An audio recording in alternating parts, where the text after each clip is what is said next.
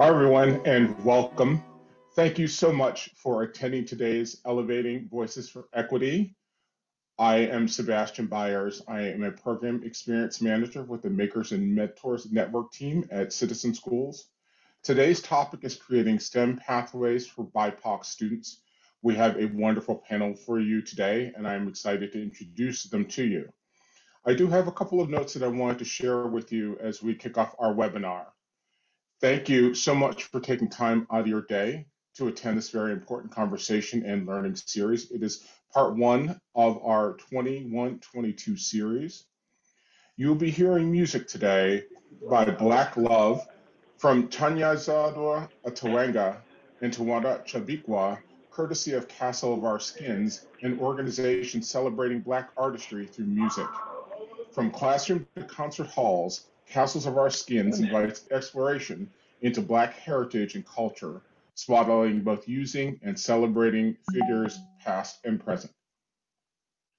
Elevating Four Voices for Equity represents Citizen Schools' commitment to learning and engaging community and to hear from BIPOC leaders on important topics like equity and STEM education. We'd like to thank our generous sponsors and supporters for this conversation series, with special recognition to Biogen for presenting the series, as well as Viacom CBS. We appreciate your commitment and partnership in support of this important dialogue. Today's event will be a virtual conversation with BIPOC leaders focusing on equity and STEM education.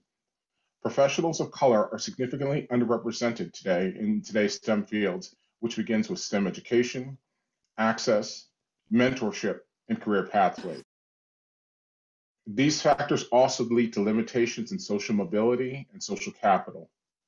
Through these conversations, we hope to learn and create actionable recommendations for changing inequities in STEM education. Citizen School supports our students, schools, teachers, and communities with capacity building for deeper student engagement and hands-on experiential learning in schools and community. Citizen Schools is hosting its second cohort of AmeriCorps Vista Maker Fellows placed throughout the country to build capacity to their host sites, utilizing the power of maker-centered learning. During their service year, fellows participate in a year-long professional development program to launch their careers as community educators and leaders. So without further ado, I would very much like to introduce our panelists today, and I'll begin with Shawna Young. Shawna, would you please introduce yourself? Absolutely. I'm so excited to be here today with you. Thank you so much for the introduction, Sebastian. I'm Shawna Young. I'm the executive director of the Scratch Foundation. Um, I, I would say that uh, three words to describe myself are energetic, my personality, energetic, uh, strategic, and different, really anchoring in, um, in difference and loving being different in every way possible. Thank you so much, Shawna. Dr. Jamie Lathan, would you please step up next?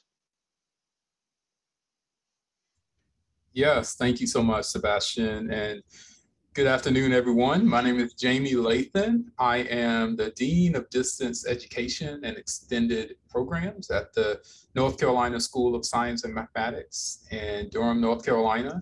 I'm currently serving as the interim vice chancellor for distance education. I am actually a history teacher, but I love STEM and have worked in uh, STEM camps and STEM summer programs for underrepresented minority students uh, at our school here in Durham and and have done uh, several STEM things for Black and Brown students uh, throughout my career. And I guess uh, three words to describe me. Uh, I'm a history humanities person, so I love alliteration. I think empathy.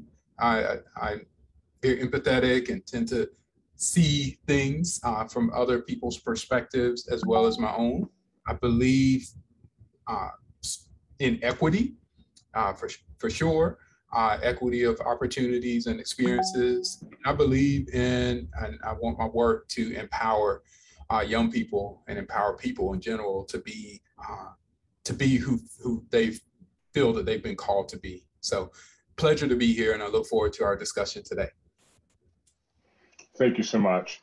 Um, I'm actually going to be turning over moderating duties to Michelle Ellis, who is able to join us. Uh, Michelle is currently in a classroom, and as we know, classroom connections um, can tend to be a little bit up and down during the day. So we are very much appreciative of Michelle taking time out of her busy teaching day um, to be able to moderate our panel. Michelle, can you hear me? And do you mind introducing yourself and then a panelist from there? Awesome. Um, so I am Michelle Ellis, and I am a teacher at Hunter Huss High School in Gaston County. And I will um, give Alazar Ayele a chance to introduce themselves. Well, thank you for the introduction and thank you for Citizen Schools for hosting such an important conversation around equity. Um, hello, everyone. My name is Alazar. I have the privilege and the honor of being um, the manager for corporate responsibility uh, and kind of leading some of our workshops around ideas of how to educate young people in STEM education here in Massachusetts um, through Biogen Community Lab as well in the past few years. Um, and I guess my three words are passion, uh, community, and science. Um, and the reason I picked those three are because uh, those are the three things I'm most passionate about, being passionate itself, and community and really making sure we elevate the community through a lot of different efforts and definitely about science. Science is amazing. So we get to talk a lot more about that later today. Have Jessica kind of come up and, and share a little bit about herself and her words to describe her. Yes, thank you so much, Sebastian. Um, hi, everyone. It's really great to be in community with you all. My name is Jessica Santana. I'm co-founder and chief executive officer of America on Tech. And prior to my work with America on Tech, uh, I was a technologist in the private sector working for really big consultancies, um, but I'm also a very proud product of New York City public schools, first generation in my family to pursue a degree in technology and then even start working in the industry. So um, much of my personal experience has informed my uh, life's journey and what I'm doing today with America on Tech. And my three words uh, would be that I'm gritty, um, I'm resilient and I am advocate. All right. Well, thank you, Jessica. All right. Great. Well, thank you. Well, now we'll start um, with our questions. And the first one is a two part. Uh, what are some of the barriers to BIPOC students taking advanced math and science classes and from participating in enrichment opportunities? And what are some strategies to change this trend? And we'll actually start with Shawna. Thank you so much, Michelle. Uh, this is relates to a lot of my life's work. Um, and then also I think I relate to just being a mom of a 15 year old black girl and seeing it from working with kids around our country and then personally as a parent. I think it boils down to uh, one, knowledge of the opportunities. So a lot of times we talk about an opportunity gap. Um, that's true. I think it's knowledge of opportunities um, within the classroom. I think even before you get to how you can go to higher level courses in math and science, it's also about expectations that are set of our of our kids and our children. And um, sometimes you can relate that to the diversity of the educators in the classroom, but sometimes I think it's a, it's a function of the of the system itself. Um, I've had my daughter get support from um, educators of color and educators who are not of color. And I've had her also not be sort of elevated based on who's in the room with her. Um, I've also seen that with kids around the, our country. So I think uh, one thing I've learned too is the importance of parent advocacy, advocacy in general, anyone who's in touch with young people, but the role of parents. And I used to it was hard for me to say that because as a former science teacher, I wanted to, to believe that the system was really equitable because in my, my world, I was trying to be equitable. It wasn't until, again, I really leaned into helping my daughter stay on a STEM track where I recognized that until I leaned in as a parent to advocate for her, um, there were gaps and there were less there she was not on a pathway that was most challenging for her academic abilities and that's hard to say as someone who used to run Duke Tip, which is like, you know, focused on gifted and talented kids around our country. Um, but so I would say, one, uh, we need to ensure that we're setting expectations for our kids, regardless of the communities they come from, across the board that they're high as much as possible. And we meet them and scaffold them so they can meet those expectations. We have to do everything we can to share access and op- to opportunities for kids and actively do that. I truly believe that the work we are doing is an active process. Um, if we are not active in getting information and, and resources out to kids, those who have the most access will continue to have that over those who do not empower our parents to feel comfortable and advocate for their children, as well as do that for everyone in the educational system, advocating for all, all children, I would say. And then I think we have to ensure that kids feel um, the support and that they feel like it's a welcoming place for them to be when I did the work at MIT and ran the Office of Engineering Outreach Programs, it was really important that as we brought kids around the country to MIT, they saw a cadre of kids who looked like them, who had similar experiences and interests as they had. And that changed their perspective on what they believed they could achieve. They all of a sudden, after a long weekend or online program or six weeks on campus, believe that MIT, the top technical institution in the world, not Massachusetts, not the country, but the world, could and would be their home. And that happened in high school. So the work that we are doing is important work um, in every aspect of way we approach it. We have to be, we have to be um, vigilant. Um, because I also believe that it's not an opportunity gap. I really believe it's an opportunity embargo. For many of our kids, every aspect of their world was not built for them to be successful.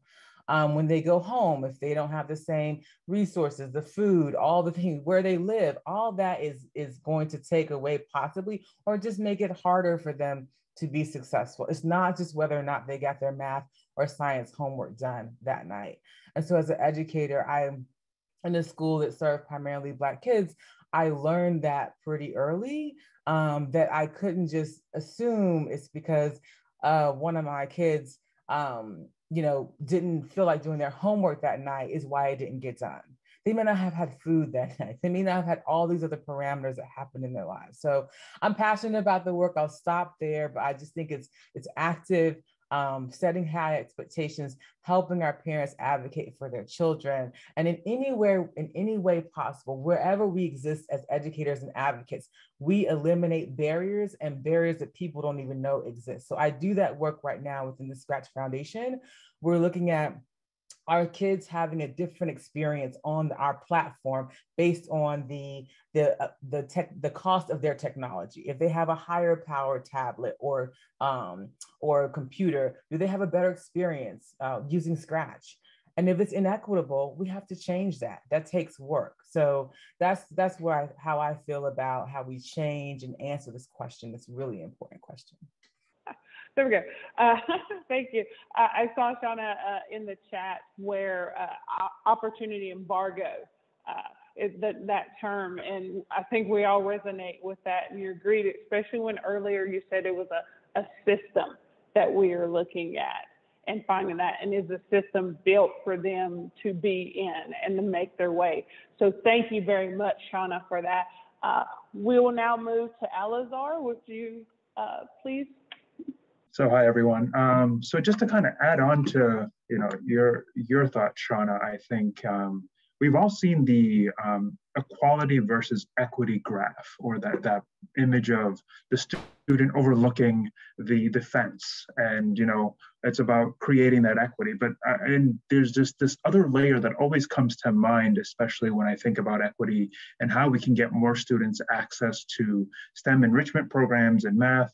And that's really explaining what's going on. It's one thing to demonstrate to students oh look this is what equity looks like but it's also important to show what the pathway to equity is. The pathway to equity is about making sure the student is resilient, wanting to learn more, wanting to actually succeed and get to that particular position.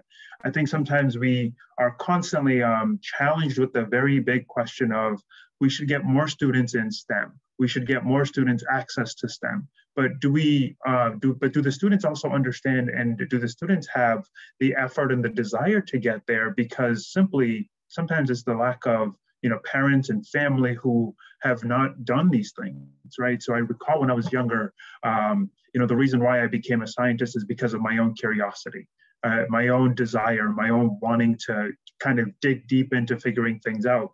But then if you go backwards in history and you start asking students, why do you want to be a scientist? oh, my dad is a scientist. Why do you want to be X? Because my mom is this, my dad is that. So when you're looking at BIPOC students, the challenge of why do you want to be a scientist isn't somewhere in their sphere. So how do we create an opportunity for students, not just to create that equity piece, but also to add the additional layer of explaining what that looks like, explaining what a career in science is, and really bringing them to that opportunity, taking them on a field trip to you know, a manufacturing plant, taking them on a trip to actually see MIT's R&D facility for biology, for biochemistry, right? And then showing them what that looks like because their assumption is, oh, we're going to make, you know, uh, X instead of Y, right? So, and you're always constantly challenged with, oh, we're not actually going to cure cancer. We're trying to understand this other element, and that's going to take us years. So, I think we really need to be able to create those atmospheres where we can say, you know, these are the stepping stones and these are the starting points. So, I think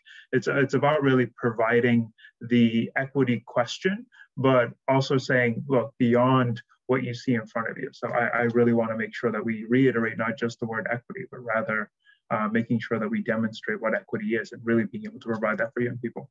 Fantastic. And I see in the chat where the word de- demystify um, is demystify. How how is it? I I feel I know where I want to go, but how do I get there? And so Shawna and Alazar both touching on the fact that there needs to be some type of mentorship and modeling. So if you can see it, you can be it. But if I don't see it, what am I going to do? How do I know to make my own path there? So thank you very much, Alazar and Shawna. Uh, we're going to move on to question number two. And this is uh, a good um, two-parter as well.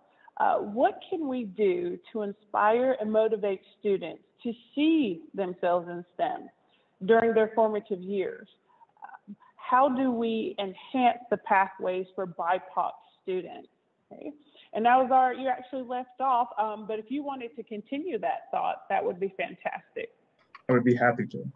Um, so uh, as you guys know, we got these questions about a week ago. And one of the things that I kept thinking about is it's about the idea of creating a safe space um, you can't really address this question of how do we create an opportunity or how do we get students to feel like they can see themselves in this space. Uh, it's really creating that safe space. And I think at Biogen, what we've done in, in the past 20 years is really create a space for young people to come in and do a hands-on activity through the Biogen Community Lab. So, um, you know, um, what we've done is we've had students come here, um, do a hands-on activity, go through a series of uh, educational opportunities. And obviously with the pandemic in front of us, we were, you know, we kind of had to be resilient and figure out a way to uh, approach this a little differently, which was more virtual. And I'm sure you guys all understand the whole idea of how to go virtual, but we actually reached more students in our summer programs. But the reality really, the reality that we actually created is creating that safe space for young people. That's kind of the first step. And then the second step is how do we have students uh, kind of constantly being mentored? How do we have students constantly being able to see and reflect on someone that looks like them, someone who is them? I recall back when I was an educator, a student walked over to me and said, You know, I want to have your job because I was wearing a very spiffy lab coat. I had my safety glasses on, and the student turned to me and said, You know, I want your job. And I admire that a lot. And I said, No, no, you don't want my job. I want you to have a better job than me, you know? Um, and then I remember a student of color who also walked over to me one, at one point and said to me, Hey, Alazar, um, so what do you do for a living? And I was like demonstrating and teaching a class uh, on how to kind of, uh, you know, use a pipette and all this. So you know, it, it was really funny how the student phrased it. What do you do for a living? And I said, I'm doing it, dude like this is me doing my job. Like i'm actually doing this and this is what i get paid to do. And the student just couldn't believe it because of the amount of fun i was having with young people. And so it's really about asking that question of how do one how do we one create that safe space but then we follow up with um, how do we make our job more desirable? How do we make our uh, space more desirable for students like us to come into it knowing that there is rigor. Of course, there's rigor. I'm inundated with information every day. There's things I have to push aside, but at the same time, really saying that this job and this journey is worth it. And I think we, as BIPOC leaders, have that responsibility to the next generation. And that's really being able to demonstrate that the job and the career trajectories that we're taking are successful, but they are difficult. Thank you, Alazar. Looking at uh, that safe space has always been a thing, that safe space to learn and to grow. Um, how do we create that opportunity uh, for our students? And I, I appreciate it, especially as a teacher in the education field now saying, how do we make it more desirable? That this is something that you, you want to go into and that you want to do. So I, that resonated with me. Um, so also, if we could hear from Jessica. Jessica, if you would uh, add on, please. Absolutely. You know, I am a very proud product of New York City Public Schools, and I grew up in Brooklyn, New York. And I think, in addition for us, uh, in addition to us creating a safe space, I think we need to be honest in that we also need to create a culturally relevant space, right? The ways in which math and science and technology and engineering have been taught right now have not always been as exciting, right? And when I was a young person growing up in Brooklyn, the thing that I cared about was Jay Z and Beyonce and Kanye. And I was thinking about like, oh, if I'm learning all of the science, like how is it going to get me to be Jay Z and Beyonce and Nas and all of these amazing people, right? Nothing about the content and the way that it was delivered or presented to me made me feel that this was relevant to the experiences that I was going through as a young person. And so I think that, that we need to find more creative ways um, to engage people in this content in a way that feels culturally relevant um, because a lot of the content in the curriculum materials, while some people have tried to create um, uh, you know, new and innovative ways, like it's still very dry. Um, and if I'm a young person worried about like, you know, the coolest trends and you're talking to me about things that I don't think are relevant to me in the moment, I could absolutely be lost in the process. So I think that one, um, we need to have culturally relevant science, technology, engineering, um, I will say arts uh, and mathematics curriculum to ensure that young people of color have an opportunity to really see themselves as part of this industry. The second thing I'll say, and I want to hone in on it because I know it's been previously said, is that I need to see people that look like me in this space. Like there's nothing exciting to me about Bill Nye. You know, I'm pretty sure he's made an exci- a great impact, right? like I'm not going to take away what Bill Nye has made um, as a contribution. But what really excites me is my friend Justin, right? Justin is this really awesome guy from the south side of Chicago who's creating uh, science communications content online that is accessible to Generation Z. And he is African American and he is from you know, places where our students feel like they are from as well. And so I think it's really uplifting people um, who are already in the space, who are doing really amazing things, and having our young people really see themselves reflected um, in the leadership of the organization. So who we choose to be speakers, who we choose to be mentors, who we choose to be uh, facilitators of content also matters. Um, and I think maybe the last thing I'll put here in terms of advancing pathways is that, you know, it it takes decision makers you know the ones who are creating these spaces the ones who are actually like looking at curriculums to also be part of the process and asking themselves whether or not they've been complicit right? Because so many people who have the dollars so many people who have you know the power to really make change in the communities like a lot of times they make diversity equity and inclusion a nice to have versus the, versus a must have. And if you are the person who is the sole decision maker at your school or your community-based organization or your institution of higher education who has the power to hire you know, uh, diverse uh, talent to teach in the classrooms, who has the ability to um, give dollars so that students can, for example, go on field trips. I would imagine that you want to also be able to um, have the level of self-awareness necessary in order to ensure that the practices that you have as the gatekeeper um, you know, that, that you are also assessing yourself in the process to ensure that you're not complicit in um, the lack of advancement of young people of color into the uh, STEM pathways. And so that was my contribution. Thank you. Thank you very much, Jessica. And, and when you build off Alazar's, that creation of a space, safe space for our students, that familiarity. So being able to be uh, in a culturally relevant space is the safe space for our students. Um, so that is definitely appreciated. Thank you both. Uh, we are going to move to our next question. Uh, there is value in having diversity in a field. STEM fields are suffering from lack of pathways of BIPOC students. What can we do to advocate for change in this system of overlooking BIPOC learners? And actually, we're going to start with Jamie. If you would please start first for us. Absolutely. Thank you so much, Michelle. And I I echo a lot of sentiments of my of my fellow panelists. I mean, I've, I've really learned a lot, and and I wanted to snap my fingers so many times at, at some of the things that you've been saying. But I want to I want to start by saying uh, that that my I have two two grandfathers who are now deceased. Uh, one of my grand grandfathers, his name was A.B. Lathan. He only got a seventh grade education. Uh, but he excelled in metalworks and electric wiring and in construction. He actually built the family home that is still standing to this day.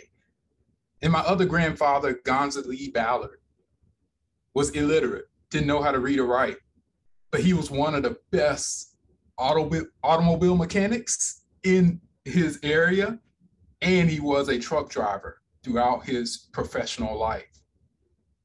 My, my two grandfathers did that without a STEM degree, right? Without any designation of a STEM degree. But I do believe that they were STEM professionals. I think we have to, and I, and I already mentioned I'm a history teacher, but I love STEM. I think we have to like embrace the rich history and experiences of our students. So you know, echoing some of Jessica's points here of people of color who've who've always excelled in STEM, whether it was called STEM or not. So I guess my first point in in sort of opening up and um, and and the system so that it's not overlooking BIPOC learners is that we really need to redefine kind of what we mean by STEM and make it more inclusive and expansive, right? So the the audio recording for Jay Z and Beyonce, cooking, uh, uh, uh, um, so so many things can fit into STEM, and we need to, as well as working in a lab, right? All of that is STEM. So opening it up, being more inclusive. I also believe like at every level, at every level, whether it's early grades or graduate school, we need the gatekeepers who are there to be held accountable, not to overlook by BIPOC learners. I think many times we have this, we want to blame the students. Oh, there, there are not enough students in, in this. No, no, no, no. And, and Jessica was saying this. At, at, at every single level, there, there are some gatekeepers there. Are they, are they putting money where their mouth is if they truly say that they believe in equity, diversity, and inclusion? Are they supporting the field trips? Are they supporting the internships? how and how if they're not how are we holding them accountable? So from kindergarten to graduate school what are we doing to, to hold those gatekeepers accountable? Uh, thirdly i think we need to meet students where they are. And we we meet students where they are by increasing access to stem content. Now my day job i'm a history teacher. I also work in distance education. And part of what i do is working with my school to have or partner with local high schools across our state of North Carolina to offer academically challenging, rigorous video conferencing courses to communities that would not, in schools that would not otherwise have them. And this is not our school saying we have all the answers. This is our school saying we're not, we don't want to hoard kind of uh, our resources. We want to sh- share them with everyone. And we want to also learn from you all. And so through these partnerships with these local uh, school districts, we're able to offer kind of uh, advanced level courses. And I think and distance education allows us to do that even more. And so meet students where they are through increasing access, right? I think we need to, and Alazar mentioned this already, and, and Shawna mentioned it, like the mentoring of, of BIPOC students. And we need Black and Brown STEM professionals um, we need to bring them bring them into our schools and into our classrooms as role models and there needs to be intentional mentoring and and consistent mentoring as alazar said throughout their time in k-12 and beyond right? We need to, another thing that I, I've had the opportunity to do for at least the last 10 years or so is run some summer camps for underrepresented minority students in STEM. And one of the ways in which I do that is I establish partnerships with industry professionals and university professionals. My school sits in a, in a place where we're surrounded by uh, Duke University, UNC Chapel Hill, NC State University, North Carolina Central University. And I've established partnerships with them to say, can my students come into your labs? Can my students come into your workspace? And can you give them real world learning experiences, right? Real world learning opportunities. And so it's not just going to get the coffee or filing papers, but these students are doing for one week, doing doing real lab activities or real activities within the industry or or in the university working with graduate students. So I think we need we can do more of that. Um, and again, the industry and the universities, they say they believe in this, will show show us by doing this work, right? And uh, lastly, I think we need to move away from this this kind of again we've we've mentioned it before, but sort of deficit thinking about kind of what our students again what our students don't have, but really thinking about what they do have and thinking about these STEM fields in a in an inclusive way so that the and the gatekeepers need to think that way about all the um, the awesome talents that our students bring to the table, our BIPOC students bring to the table, and how they are taking and how they can kind of capitalize on those talents and, and take those students to where we know that they can be. And it needs to be not just black and brown professionals. Yes, we are important as, as role models, but it needs to be everybody's, everybody needs to own it. Everybody needs to be committed to seeing these STEM fields become more inclusive and include more BIPOC students. Agree. Thank you so much, Jamie. One of the things you were uh, talking about reminded me of that. Uh, it takes a village, and the village is not just the formal schooling. And a lot of times that's what we think, um, especially hearing your story. So it is our our corporations, our universities, our schools, our businesses, our nonprofits work all together uh, for that. Okay. Thank you, Jamie. And uh, Jessica, would you like to add on to that, please?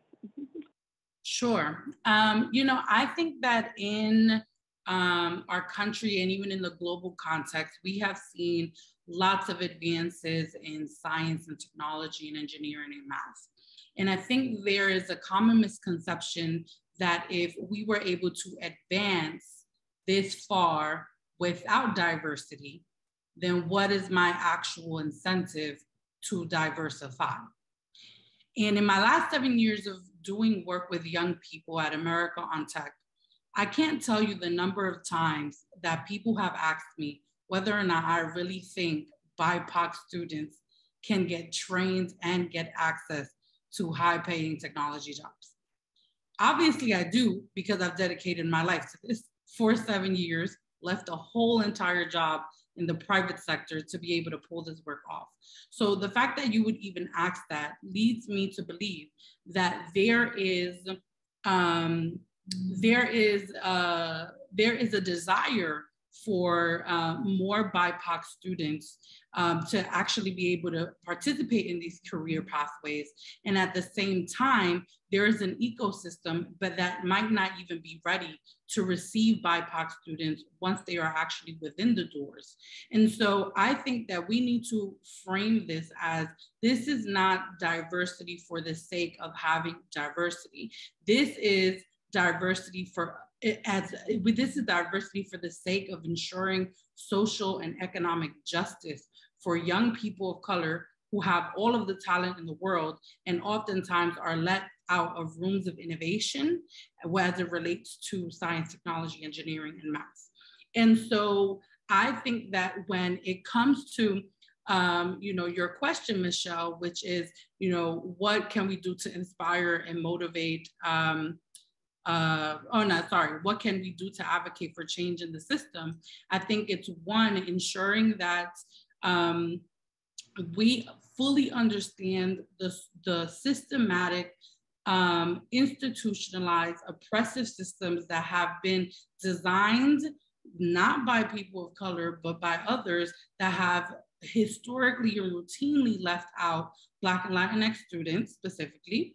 Um, and two, making sure that um, you know, everyone who is accountable to actually creating an inclusive environment plays a role in doing that and is given the tools and the resources to do that because we put so much onus on students to be resilient and gritty and figure it out and hustle. And we put less emphasis on actually addressing the system that makes them have to hustle and gritty and be gritty in order to get them to, to get them even inspired. So you might have some of the most talented kids who are super inspired that never is that are never met with the opportunities to engage by default of the zip codes that they live in by default of the schools that they attend by default of the social networks that they are a part of.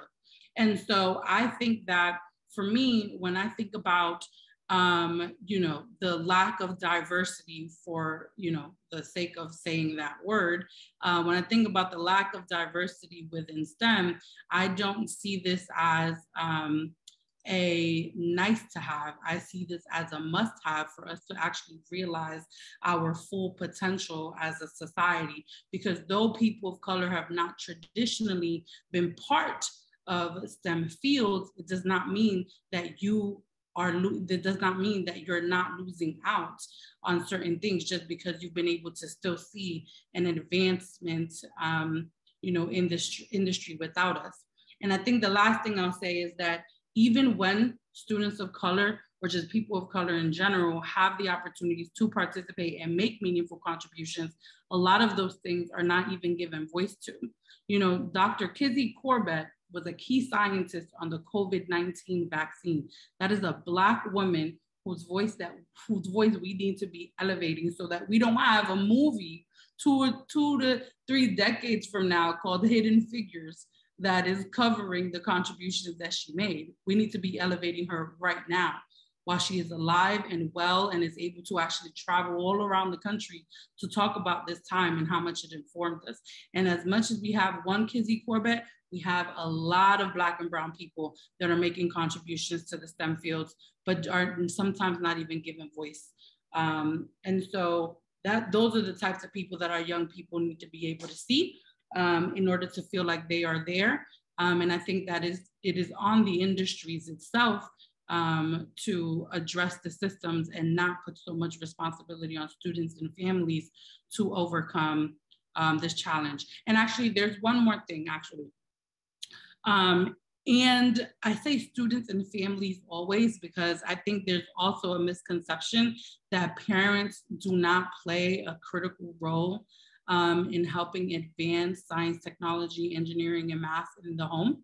Um, you know, when I think about the programs that we run at America On Tech, there is not a student's parent that doesn't get reached out to multiple times throughout the semester and throughout the school year in order to go through orientation on how they can support their students within our program with when they are at home. Um, and the fact that you know we say things like oh parents don't care or parents are too busy to engage i feel is extremely problematic because the ways in which we would never say that about our suburban, affluent, high income earning families is the same way that we should not be perpetrate, uh, perpetrating uh, that same kind of culture within our own communities. I'd like to add a little bit to that, Michelle, real quick, and, and just say that I feel like the the narrative around I appreciate everything you shared, Jessica, because um, I think about the fact that you know imagine if we were not excluded if we had not been excluded all of these years where could we be um, versus like oh we've got so far with all these systems in place it's just like where could we have been without all of that happening in, in all those junctions where we could have been more equitable and we chose not to even as recently as now um, just gives me a lot of pause. And I hate to think of it from an economic sort of play or talk about finances and things like that. But I, I see that our current structure essentially is creating a lack of innovation. You think we're so innovative, but it's lacking innovation because we don't have, as you've probably seen the the the um, the paper talent on the sidelines. We have significant parts of our community and our society are not actively playing a role in how we create and innovate our world. So just I appreciate everything you shared, Jessica.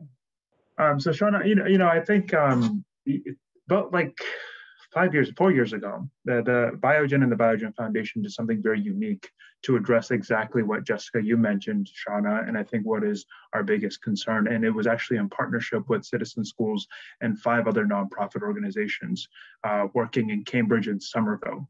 Now, what we did was really to um, start what was called the STAR Initiative, uh, and I can definitely share a link in just a little bit, that really addresses the questions that we've just been talking about, which is STEM equity, equity for young people. So the initiative started out as an idea in 2017 to really think about how do we elevate science? How do we elevate underrepresented minorities and underrepresented students in this particular space? And what we did was um, we pulled six nonprofits together as industry leaders. So we were industry leaders in, you know, obviously in biotech, but we became industry leaders in education as well through the community lab and found that working with people around our community became a, a, almost like our corporate responsibility, right? So it became part of our responsibility and our response to our community that is really heavily struggling, especially in Cambridge and especially in Somerville. So the way we responded to that was collecting or creating a coalition of nonprofits to support students in the school system. And so through the STAR initiative, so STAR stands for Science, Teacher Support, Access, and Readiness, what we did was we invested $10 million over four years to see what we can actually pivot or if we can actually see a shift in the way that we have students, again, successfully grading better, that's one, um, academically. Two, can we actually pull more students of underrepresented communities into these nonprofit organizations for out of school time. And we're surprisingly working with the school districts. I think the school districts have also demonstrated the success of this and, you know, Citizen Schools being one of them, along with our other five coalition partners. And I'll be happy to share that report, but, you know, it just takes a village always comes into mind, Michelle. I think when you said it, and that was literally going to be my answer for question four, um, that we're going to talk about in just a bit. But it does take a village to get here. It takes a village to say, hey, what are other biotech companies doing? Why can't biotech companies jump in on this? Why can't tech companies jump in on this idea? And um, I think it'd be something very interesting that we can continue to talk about as we approach the next question. All right, actually, we have um, reserved some time to answer audience questions. So we're going to jump into our audience questions um, at this moment. So one of the key things we've heard all the, the panelists speak about is um, the inclusion and just right where you left off, Alazar. So our, our question right now is what are some strategies for BIPOC parents, families, and neighborhoods uh, outreach to outreach to each um, to help empower parents? So I'm going to summarize that question uh, there. I see. Uh, what can we do? What is a suggestion to help uh, parents advocate? Because I know Shawna, you mentioned that earlier, and also for collaboration. What what can we do? What is a suggestion that we can give? So anyone is welcome uh, to jump in. Parent, are parents aware of the programs in their community? I think that's the first question I want to ask. You know, if you're in Boston, uh, if you're in the Boston or in the Massachusetts area, we have a lot of programs that are designed for high school students. If your child is over the age of 16, for example, there's a lot of programs that come out of, you know, this, let's start with Biogen first. Um, so Biogen has a summer program that allows students to come to Biogen. And we specifically look for underrepresented minorities and students of color to come into these programs as a priority. And that's simply, again, to push and elevate that direction of making sure BIPOC students have access first. Um, and then the second part of that is uh, there are other programs in the area, other hospitals and research facilities that do not hold restrictions that we do as a biotech company. So their legal format is a little different. So if you're in high school and you want to do research, MIT, I, I know has programs that allows young people to do that. Harvard uh, and Harvard Medical School have programs that allow you to do that. And so does Dana-Farber. So are parents aware of the number of programs in their community through the hospitals, through, if you're in North Carolina, uh, Jamie, I'll even mention Duke has great programs for neurology programs as well. MGH has a program up here in Massachusetts for students who are seeking to have these opportunities. So the first question I want to address, or the first question I want to kind of cycle back to the parents is, are parents aware of these opportunities? And if so, I think parents should also do the due diligence of doing that extra research to figure that out. I think what would also be very helpful is to see what each company is doing. I think if you're in an area where you are, you know, there's a high concentration of biotech companies, I think it's important to ask the question of what are they doing in there for the summer? What are they doing for the students? What are they doing for the community? Because most biotech companies want to do that. They want to support their local communities. Um, and I know that we do it here at Biogen. I know MIT does it. I know Harvard. I know Dana Farber, MGH. They're all kind of uh, a community that does that a lot here in Massachusetts. So I'll kind of put it at that for now. I'll quickly add on to what Alazar said um, in terms of parents being aware. Also, what I found is that some, while parents might be aware, they might not have be aware of like the process of getting their students or getting their children uh, involved involved or through the door. Sometimes there are barriers, uh, like a application or uh, getting recommendations, etc. And one of the things that we found to be quite uh, um, helpful for us is to say, okay, here's here's here are these opportunities at these universities or industries, and can we meet with the entire family? Here's here's what the application asks you to do. Can we walk you through how you can you would complete this application? And not in a way that's going to insult the intelligence of our families and communities. No way no way right? But just being a being there as a support to say hey yes here's an opportunity but here's here's how you can get through this door. And if you need help with getting through this door then we are here to support you. And so awareness and then that that next step because of some really barriers that I don't think need to be there are sometimes there.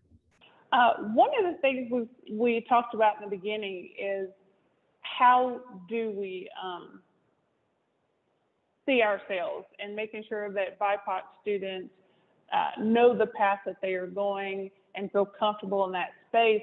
So one of the audience members asked uh, if you could tell us an early memory you had of seeing yourself there, of seeing yourself in STEM? I can share. Um, it's funny because I felt I I actually I think about this moment a lot because before there were things like Codecademy and Udemy where you can go online and teach yourself the code. Um, there was blackplanet.com and there was migente.com. And on these pages, um, a lot of times they were like these long um, pages full of code that you would basically grab the code, you go back to your blackplanet.com account, and then you're able to like create a nice background and add music and have marquee text. And then that evolved into like, you know, MySpace coding for myself as well. But it was interesting because there was this, um, there was this black woman who always was basically creating these types of coding pages online. And this was like, I want to say like 03, 04. Um, and when I saw like, I think the, the, I think the link was like blackplanet.com slash Cindy, Cindy's codes for you. Like I saw like at the bottom of the page, there was like, all rights reserved for Cindy. Please give credit to the code wherever it's due.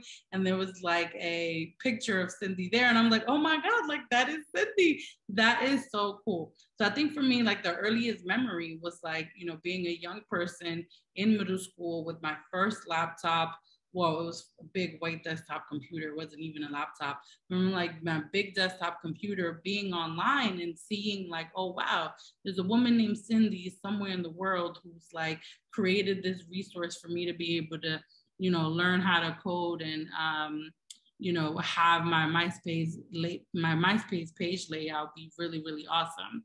Um, and I think that it was important because it was important for me to see that because um, I think that like, you know, when I got into coding, um, you know, the first friend that you have on MySpace is Tom, right? And like, while I thought Tom was great, and I'm pretty sure he's doing well now in life. I don't know that like if Tom was the first person that I had to like reflect um to that I had to say like you know was uh, my entry into coding through MySpace. That wasn't it. It was definitely seeing like Cindy's uh, code for you and like seeing her picture saying that like you know you must give me credit for my you know my code that I'm giving you. Um, and I think it, it speaks to like how someone's um, you know imagination can swirl, uh, you know, at a really early age by just default of seeing someone that looks like them um, doing things that they think are also cool. Yeah, I think I would also add. Uh, so, thank you for helping me think back on this. But my first chemistry teacher was a black man who was quirky and like, but I could do the work. I was like, it was hard, but I could get the work done. Then my physics teacher was a white woman, and she was like, I mean, she was out there. She was so smart. And I was just like, oh my gosh. I mean, I knew I could do STEM. I was so excited and I always got energized me in STEM classes. I was just like, okay, physics is like, it's a little much to major in physics. I can do it, but I don't know if I want to major in it. And fast forward, I ended up being, you know, a chemistry and physical and physics teacher at a predominantly black high school. I think the other thing too is when I was growing up, I was in a predominantly black high school, and in the honors classes, most of the people and my my friends there were of color too. So i didn't like i didn't have that experience where it happens in some um, city or um, in some schools where even if it's predominantly black school or predominantly uh, school that's serving uh, kids who are black hispanic native american when you go into the honors classes that's where you see the people who are not of color.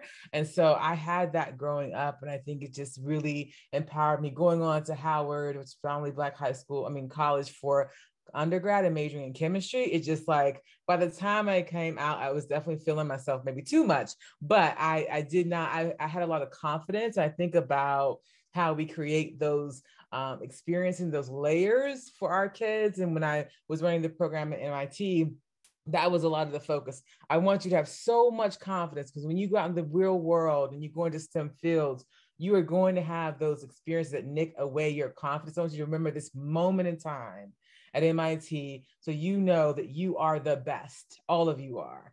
And you should stay in this trajectory of STEM and you can do it.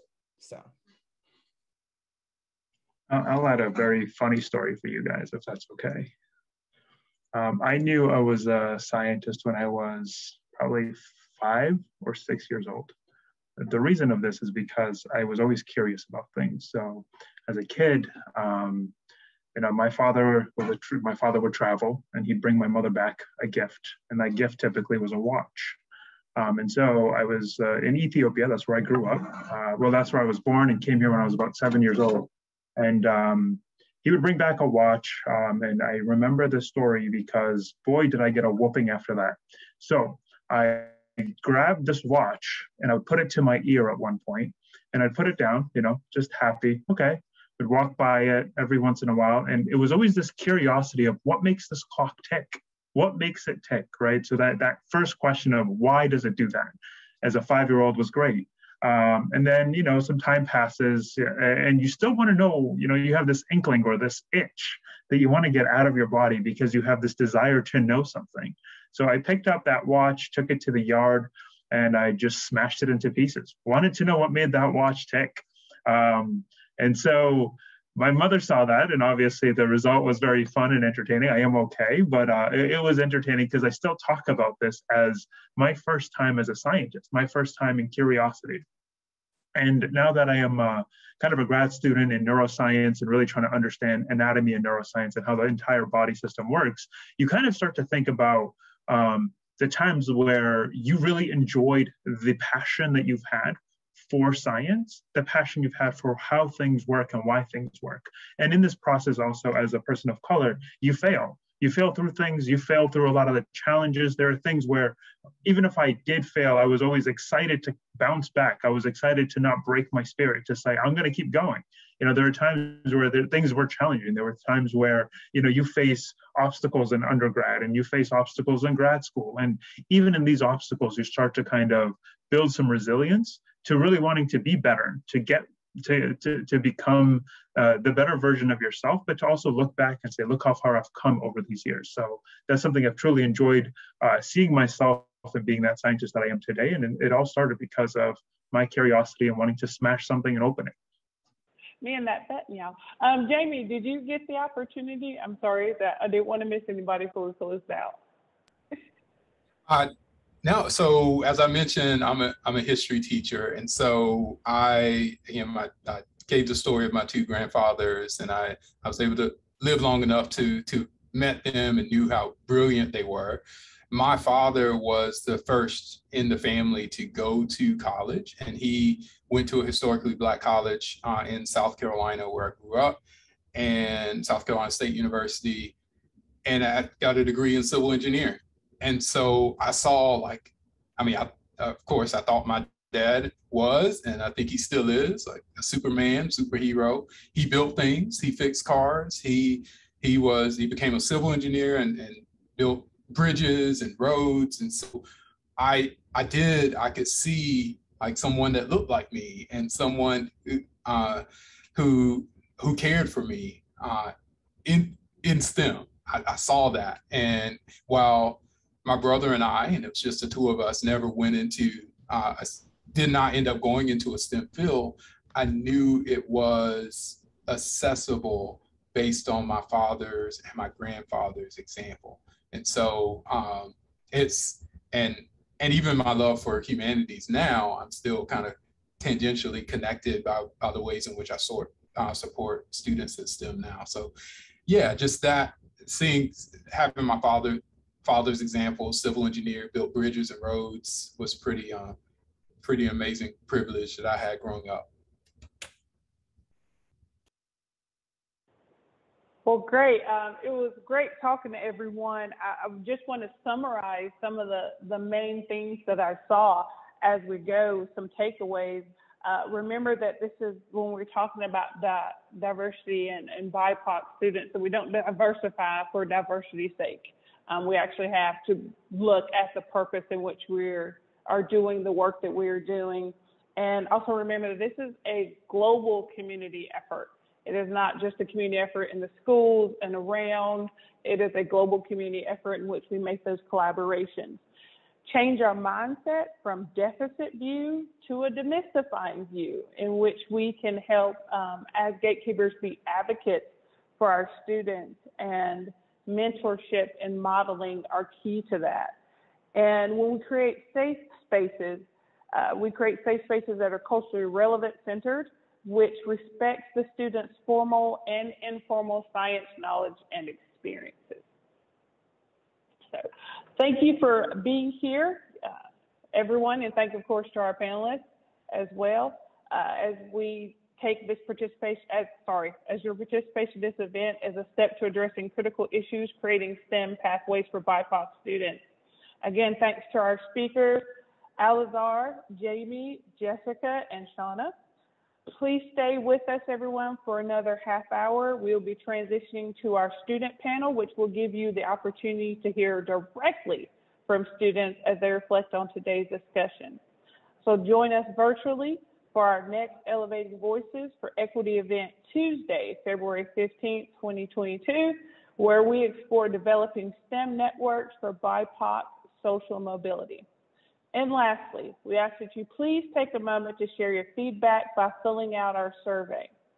For every response we receive, we will make a $10 donation to Castle of Our Skin to support Black artists.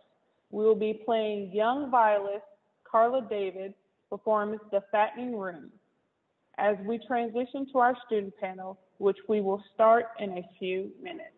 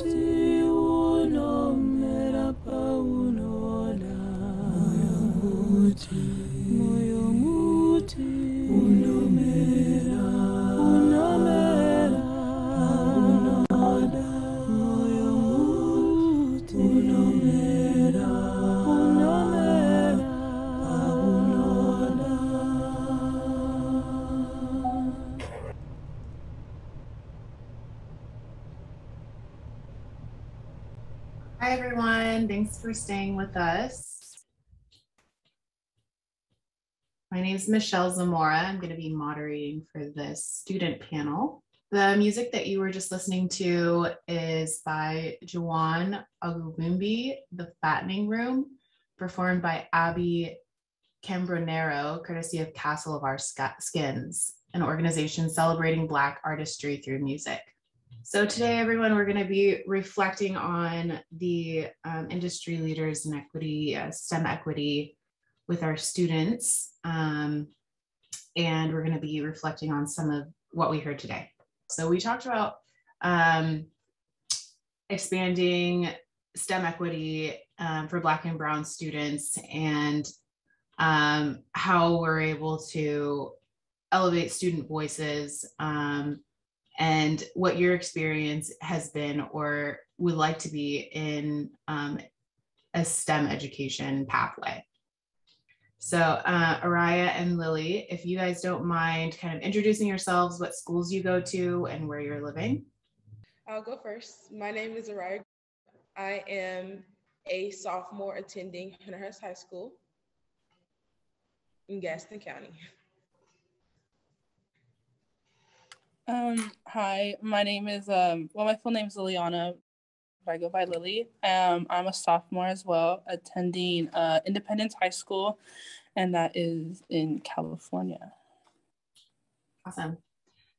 Thanks so much for taking time out of your school day. Um, so basically, what we were talking about um, is we had a panel of industry leaders um, really working to expand STEM equity in their communities and talking about ways in which we can do that um, and elevate Black and Brown voices um, within STEM equity in education and in industry um, and throughout our communities. Um, so maybe you can describe um, something that, that stands out to you as far as how your school or your community has been able to do that or maybe do a little bit better Yeah, so um like kind of similar to what Araya was saying, I am I want to be like um my like my future career has to do with um forensics. So um our school does provide a lot of things like um STEM wise. I know we have a STEM uh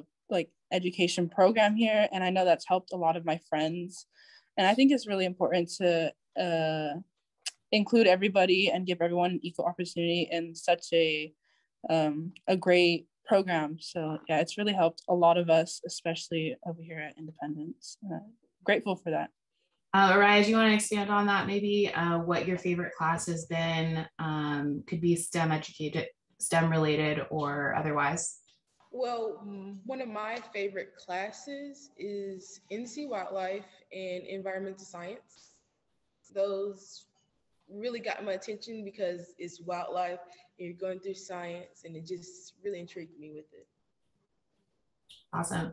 Um, something I want to touch on quickly is a lot of the panelists talked about their beginnings um, in STEM education and talked about their curiosity. Um, I want to know what kind of sparked your curiosity or because I think that that's something that's really important that really motivates you to continue on with this type of work. Um, you really have to be curious about what you're doing. And do you remember a time when um, that curiosity was really sparked for you? Um, you know, you guys are only sophomores in high school, so I don't expect you to know what you're doing for the rest of your careers, but maybe something that has just really stuck with you. Well, I'll go. Um, literally, it really sparked last year in NC Wildlife when we were going through the animals of North Carolina. And I really was like, I really like this the animals and getting to know what species they were. And it just really sparked and intrigued me. Um, so I'll go next. I would say it sparked around seventh grade. Um, it was in uh, citizen schools. Actually, we did. Um, we had like I forgot the name that it was called, but it was like a clubs that we did. And one of the clubs we had was forensic science. And um, my teacher would always go all out and make us like help us solve the mysteries. And I was like, this is really cool. And I was like, and it's not only is it fascinating to me, but it's helping other people and I was like, and it's just such a cool industry. And so, yeah, I probably, um, but just like finding everything out and solving things and the science behind it. So, I want to ask uh, we talked a lot about in the panel um, having leaders that represent equity and diversity. And I want to know I know that Araya, your teacher is Michelle Ellis, and I want to know if, um, if that helps you kind of be, stay motivated to know that there are leaders uh, of BIPOC community that inspire you to, you know, can I keep keep moving forward with what you're doing? Yeah, that really that really helped out because she knew what it was. Like some teachers don't know zoology. Oh, it's science because there's ology on the back of it. No, she knew what it was, so she helped me with it and helped the study with it. So I was really grateful for that. Uh, Lily, I want to know if you have had that experience as well, um, being able to see people of color as leaders in your community, if that's something that motivates you or that you would like to see more of. Um, so yeah, uh, definitely 100%. It helps to see like a very like a diverse community out there, especially helping leading our um, like uh, in the education wise. Um, I don't think I've experienced it, but I know that I've, there's definitely teachers on this campus that have um, and seen that helps you and know like they know what we have to go through, and they um, they help us along the way. So yeah. So the next question um, that I want to ask you about is something that would be helpful uh, as you embark on your educational career versus your workplace journey. Um, so basically, like what type of programs or classes, you know, programs outside it could be outside of school um, or classes that you want to take that would kind of continue with that spark in your curiosity and um, what what's the next classes you want to take what are the next programs you want to look into in your communities um, that will help you move forward with uh, esteemed career Araya, we can start with you. Volunteering would be, volunteering is a big thing with it and helping and just moving with it. In particular, do you have any organizations in mind or maybe wonder if, you know, the people in this community in this webinar might have ideas or recommendations for um, programs that might interest you in zoology or environmental science? So a program that I have volunteered at that really helped me is Bit of Hope Ranch. Um, it helps with kids with autism and helping out rescue animals and to help with their programs and processing through with their autism and rescue, rescuing new animals and everything.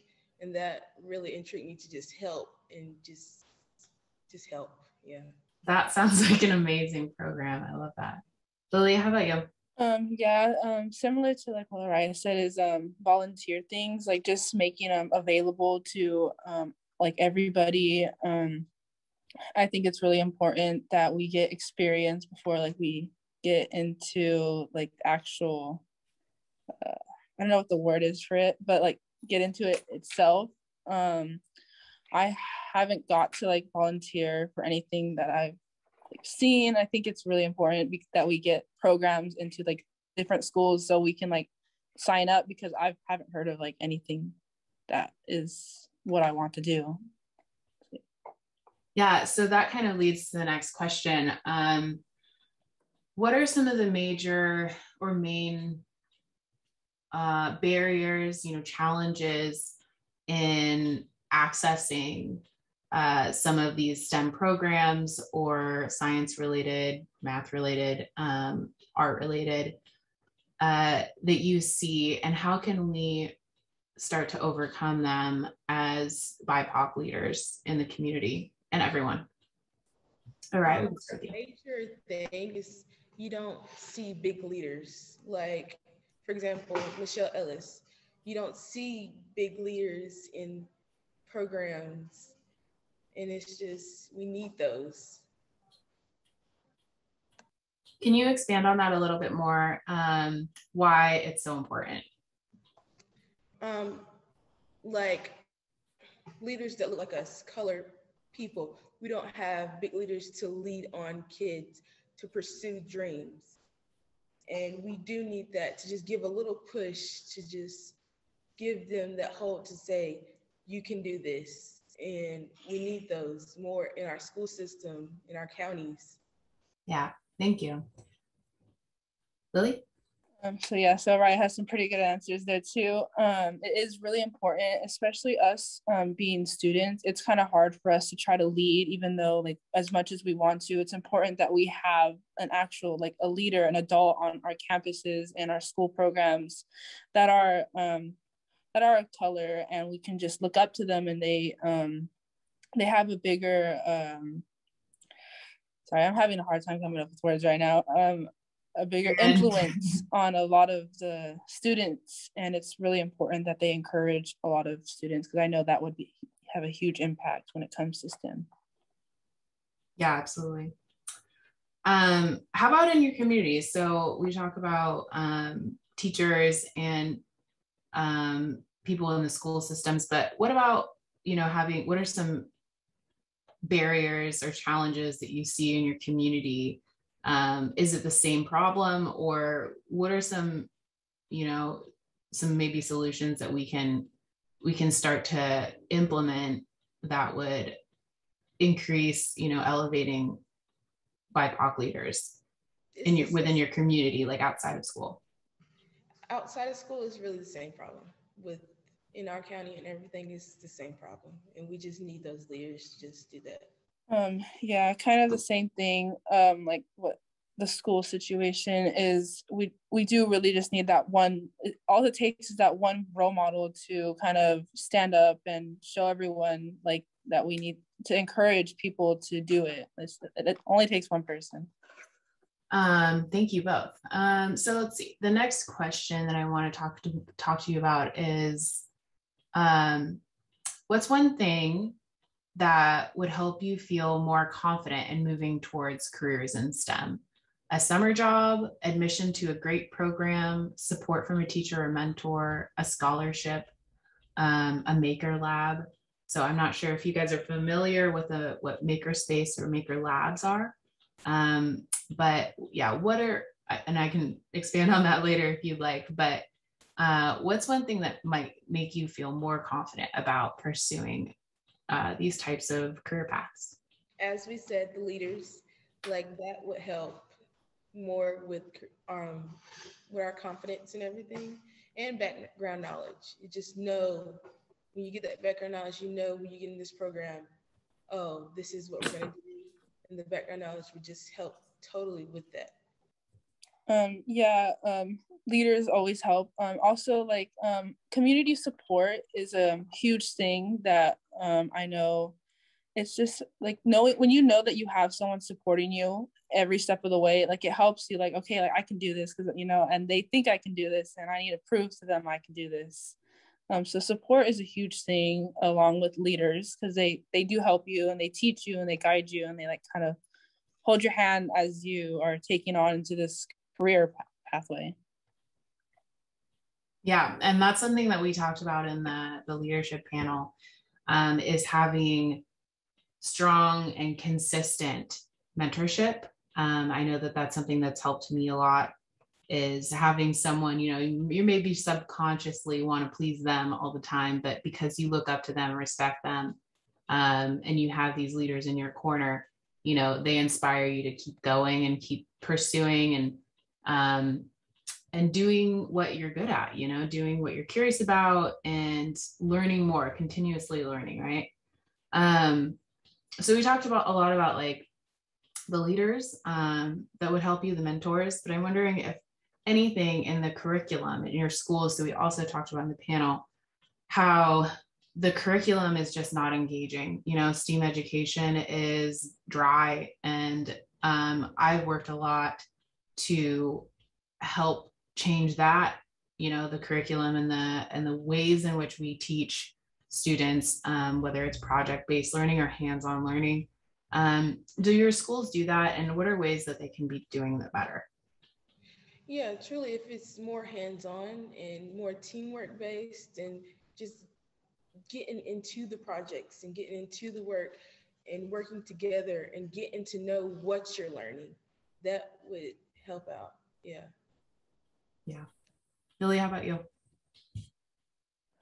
Um, so yeah, the same thing. Um, I think it's also it's not just a curriculum. It can also depend on how the teacher decides to teach that curriculum. I know um, this year my teacher has done a fantastic job of making sure that we work as a team. And you know, there's some things that we can't always do in a team. We have to like take tests and do certain assignments on our own.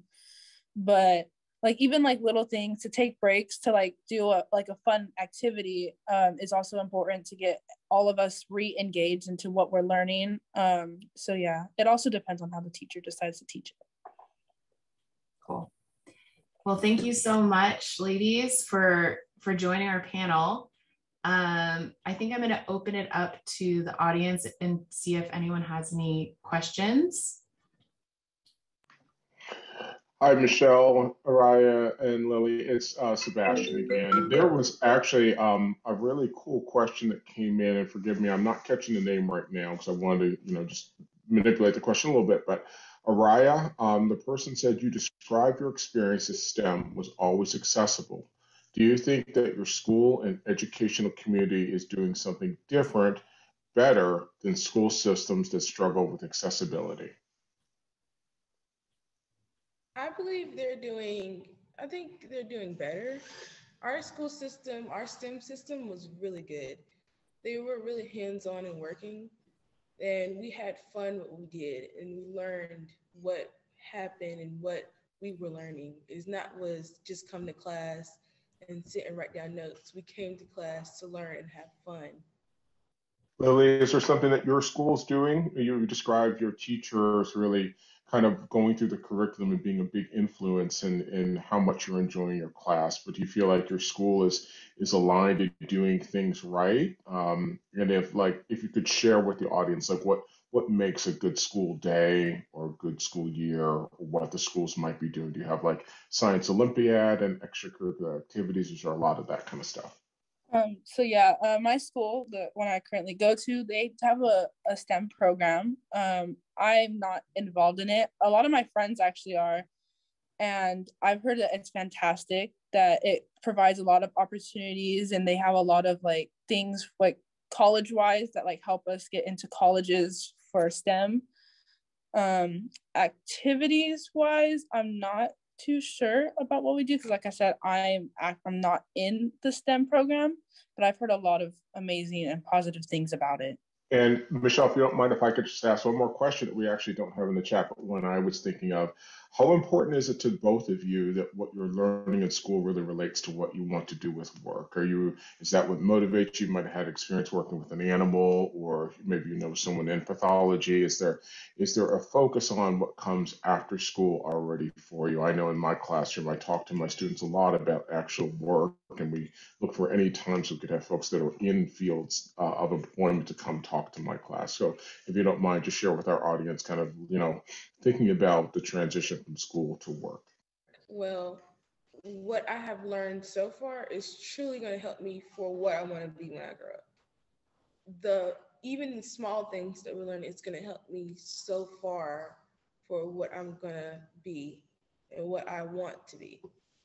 Um, yeah, so the same thing. I know that that one club that I did in seventh grade um, will always impact, like it was the start of that interest to me. Um, I also know that my school offers something for my junior and sophomore year um, and i'm really looking forward to that. And i think it really is just the little opportunities and the, the little lessons that um, will always impact like like it's the tiniest it, all it takes is one person takes one lesson to encourage like a kid for the rest of their life. Thank you Araya Lily again. We appreciate you being here and you know expressing your words of wisdom. Uh, i know that i learned a lot from you and uh, thank you to our audience who came today to the student panel.